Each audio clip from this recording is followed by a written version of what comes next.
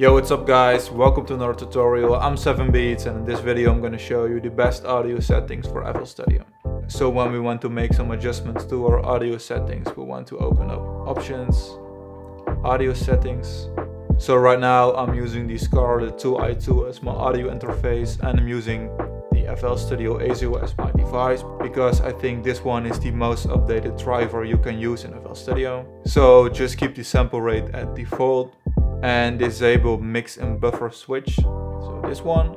And this will just use some extra CPU especially when you're using third-party software and the triple buffer because it will just add some buffer time and for me there is no advantage. So I will just keep it disabled.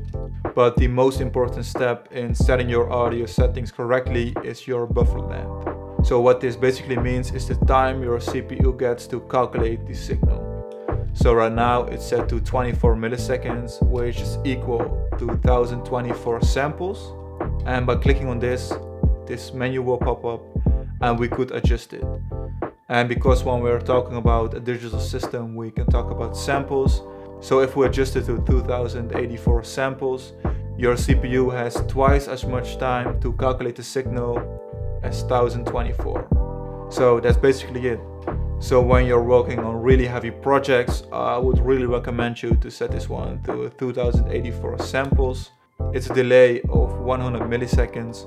You're able to recognize it, but it's not really annoying when working in a project. But when you're recording vocals, your vocal will also be delayed 100 milliseconds, so really keep that in mind. And maybe you could just lower your buffer length a little bit.